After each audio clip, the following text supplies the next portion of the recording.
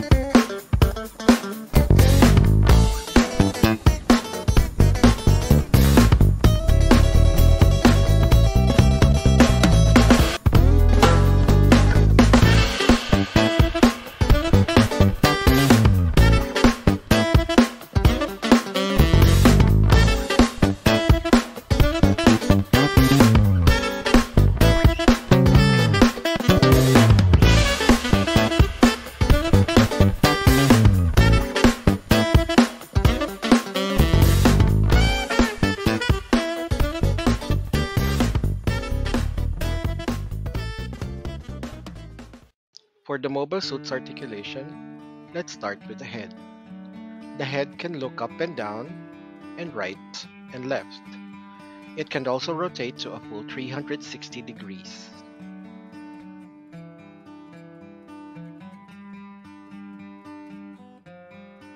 The shoulder armors can be raised up to this high, same as the arms. The arms can rotate to a full 360 degrees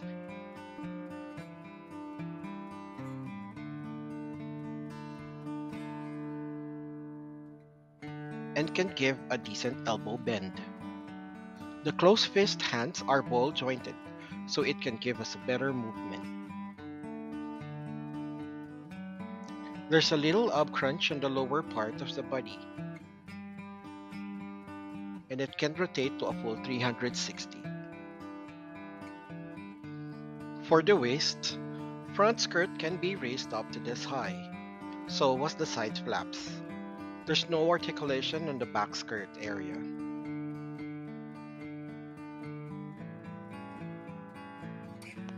The legs can be raised forward up to this high. Raising the legs backward will be limited. Legs can rotate up to 190 degrees and will give us a decent knee bend. The feet is ball jointed, so expect to get a lot of articulation movements on that area. Here are the additional parts and weapons of Astaroth.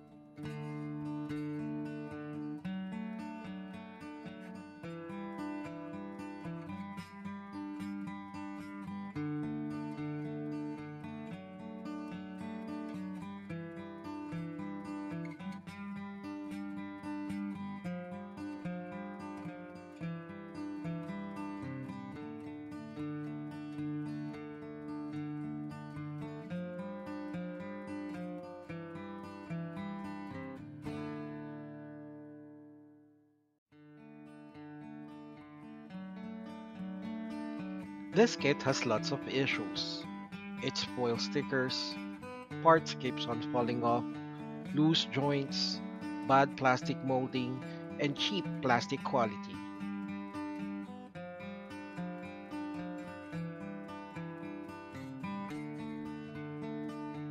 Yeah, I enjoyed building this kit, but I'm not happy with the quality of the material. For me, this kit feels like the old school crappy TT Hongli high grade kits. I'm still happy I have this kit for my IBO collection, but I think I can't really recommend this kit. For me, this kit will get the score of. Once again, my name is Gundamdek, and thank you for watching.